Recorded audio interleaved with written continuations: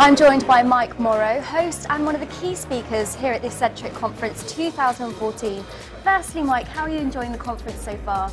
Well, it's good. I mean, fairly nerve-wracking to try and pull these kind of events together, but we've got a great panel of speakers through the day, and uh, we've had a really good turnout here in London.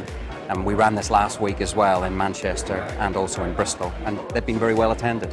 So, what are the key themes that you've picked up during this conference then?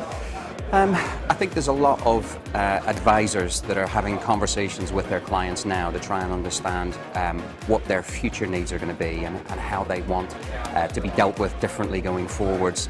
Um, it's just a constant evolution of understanding exactly what that relationship needs to look like between a consumer and their financial advisor.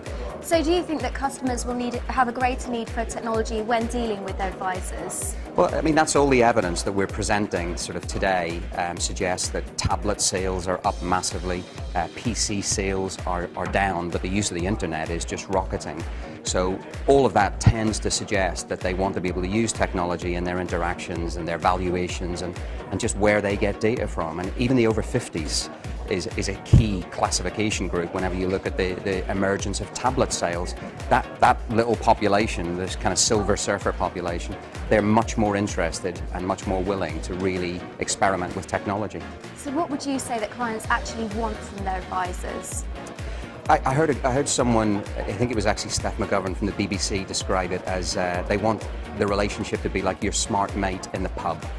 And, and I think that's actually quite, it, it's maybe a little cliched, but it's a, it's a nice way of summarising what they wanted to be. Somebody who knows significantly more than they do, but who can interact with them in a way that they feel comfortable and they don't feel threatened and they don't feel it's a battle of egos. It needs to be um, very much a kind of a trust relationship.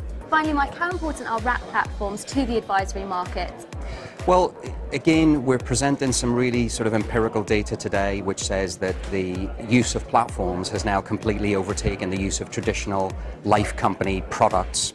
Um, more than half the new business last year was written on a platform, and this year it looks like it could be as much as 80% of new business sales will be done via a platform.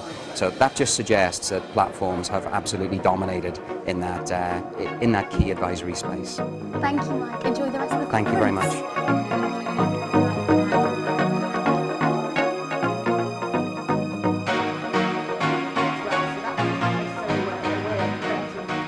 Wraps have done have, is that they've put advisors in control. So instead of being tied to the products or the funds of one business and having all the administrative hassles that go with dealing with lots of different providers, the advisor deals with one organization like Ascentric and has the world at their feet. And that's incredible. It puts the advisor right at the heart and it relegates everybody else down to a kind of supply chain for that advisor. And that's exactly how it should be. Well, thank you so much, Mark. Go and have a beer. I'm thank sure you. it's well deserved. And thank thank you for chatting to us. That's a pleasure.